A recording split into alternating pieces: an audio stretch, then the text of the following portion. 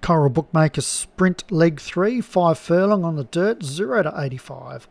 Joint favourite up the top, Groovy Moment for Mark Jones, Lampantera Rosa, Amor Piaf, Citrus Cruiser, Mufti, uh, Tuanku, Sabazo, the other joint favourite, the Spanish Castile for James Shea, and Paperback Rider for Kevin Minahan, number 9.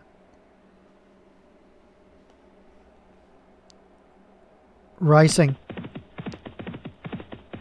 Jumping well, Sabazo with Mufti. Uh, also a bit wider there is Lampantera Rosa, now eases back. Kicking up along the fence there is Amor Piaf. And out the tail there we've got uh, Spanish Castile, Lampantera Rosa and Citrus Cruiser. They run on down to the three furlong pole.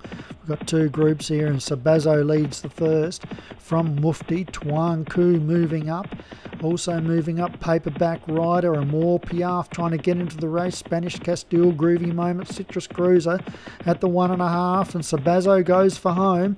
Uh, chasing on late is uh, Lampantera Rosa, and out wider Citrus Cruiser at the furlong. It's Sabazo in front. Lampantera Rosa and Citrus Cruiser are chasing this leader. It's Sabazo in front.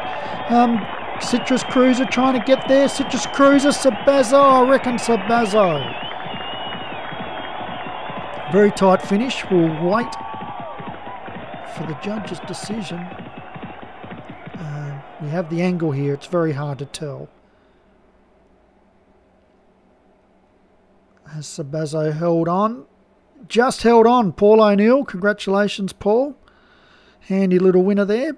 Second, Citrus Cruiser C. Beckwith. Uh, third, James Shea, Spanish Castile.